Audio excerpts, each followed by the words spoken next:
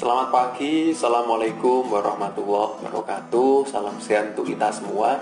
Kali ini kita akan belajar tentang bagaimana membuat dan menggunakan Padlet dalam pembelajaran daring.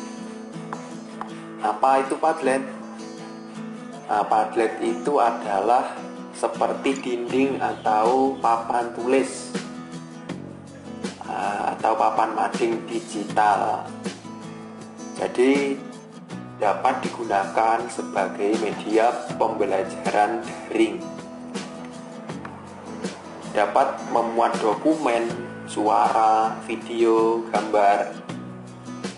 Bisa juga sebagai tempat pengumpulan hasil karya siswa. Seperti ini contohnya anak-anak mengumpulkan infografis dan posternya di Padlet. Kali ini kita belajar bagaimana cara membuat Padlet. Pertama kita buka aplikasi browser.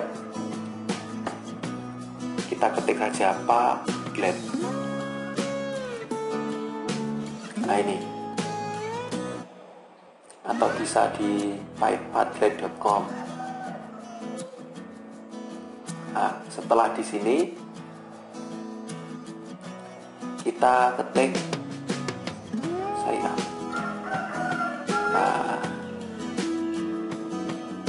tuliskan alamat email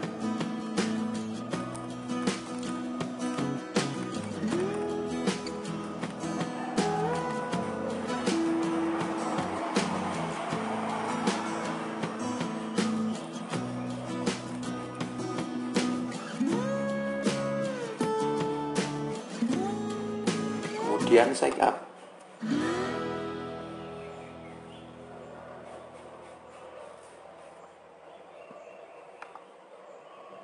Setelah itu kita dipilih diberikan pilihan yang pro atau yang basic. Kalau untuk awal pilih saja yang basic karena free. Nah, kalau yang pro itu berbayar 50.000 per bulan namun untuk kapasitasnya berbeda. Kita coba dulu yang free yang basic, kita klik continue yang basic.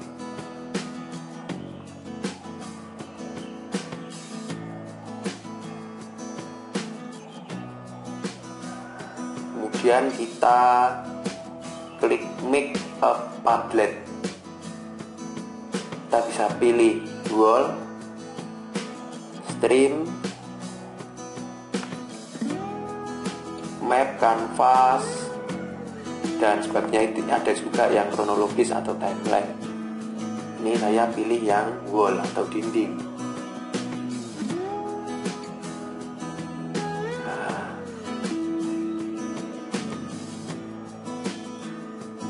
Ini kita kita ketikkan tadi di sini ya di klik modify. Kita klik namanya apa.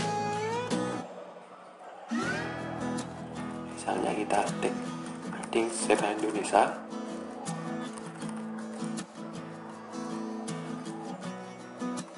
Kelas 11 MIPA seperti ini.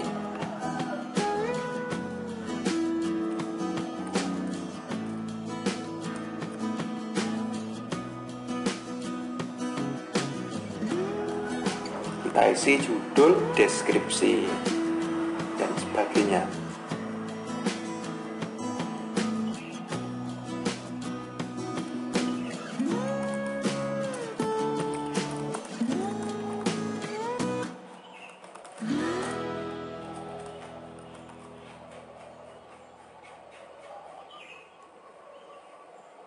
kita juga bisa ubah wallpaper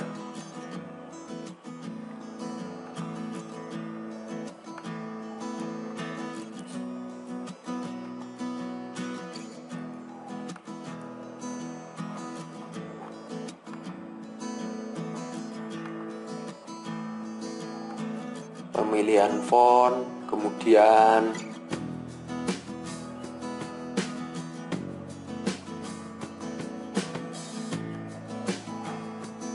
komen ini penting bisa diaktifkan ini. Komen supaya bisa saling memberi tanggapan dan komentar.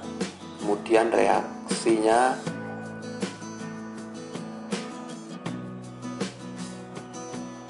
Bisa kita pilih create atau star atau like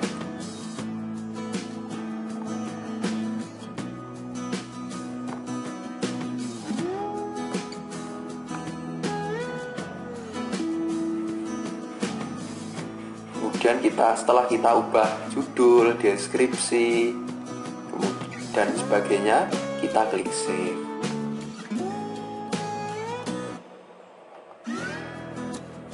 Kita bisa share di sini.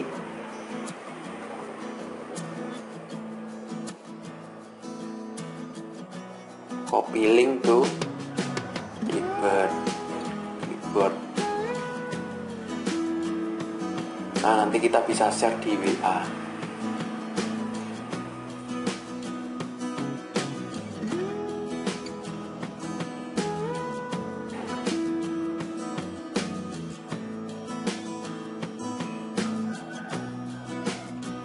Bagaimana kalau kita mau menambah lagi? Ya, kita bisa menambah lagi make upgrade lagi. Jadi bisa membuat tiga wall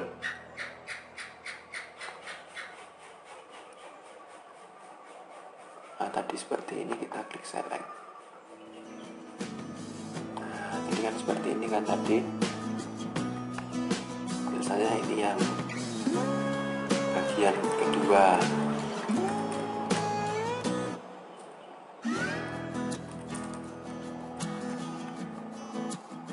Langkahnya sama seperti itu jadi kita bisa gunakan Padlet sebagai media pembelajaran daring maupun tempat pengumpulan karya siswa. Jadi di sini juga ada fitur komen dan sebagainya kita kita bisa menanggapinya dan siswa pun bisa saling berkomentar di sini. Ini mendukung langkah komunikasi maupun kolaborasi. Oke, terima kasih. Kita jumpa lagi di bagian selanjutnya. Semoga bermanfaat. Sampai jumpa lagi. Assalamualaikum warahmatullahi wabarakatuh.